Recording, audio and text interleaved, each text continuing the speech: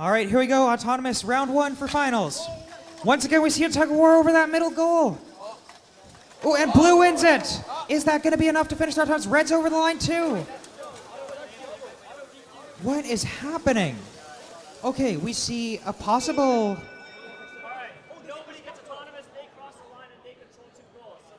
Amazing. gets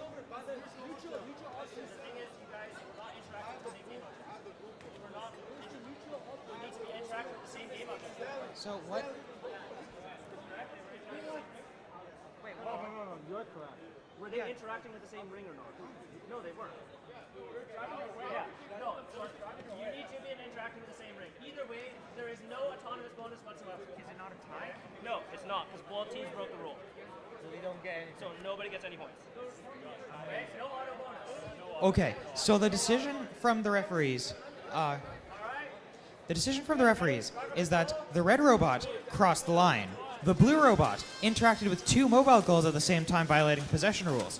Both teams broke a rule. Neither team gets any autonomous bonus. Autonomous is a wash. Driver control starts now. Let's see how they do.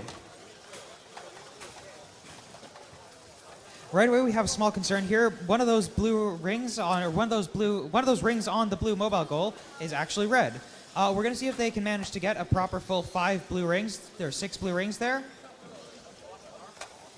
But red only has four rings in their corner as well. So we're going to see what happens here. I see both teams have gone for a wall stake. Blue's continuing to build on their advantage on the wall stake here. Meanwhile, red is playing defense to try and take that mobile goal out of the blue corner here. Red going to clear out some more, or blue going to clear out some more rings from that negative corner. Loading up the mobile goal. And going for the high score again. And going for the high score again. That maxes out that wall stake. That's a solid six rings scored. Seeing even more fighting over that blue mobile goal in the positive corner. Can blue hold out long enough to get to the last 30 seconds? That is the part that matters here. Red dropping off goal at the last second there. They got it in just barely. 10-10G. They've got possession of red goal. They're holding it there in the negative corner. That's going to be a huge loss for red if that stays there at the end of the match. Team 886Y trying to take some of the blue rings off the top there, but but 1010G playing some defense.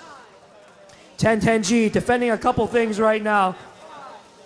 886Y taking a red ring. They got a couple seconds to try to score on there, but they can't get it up in time. And 1010G hangs at the last second. Incredible play by 1010.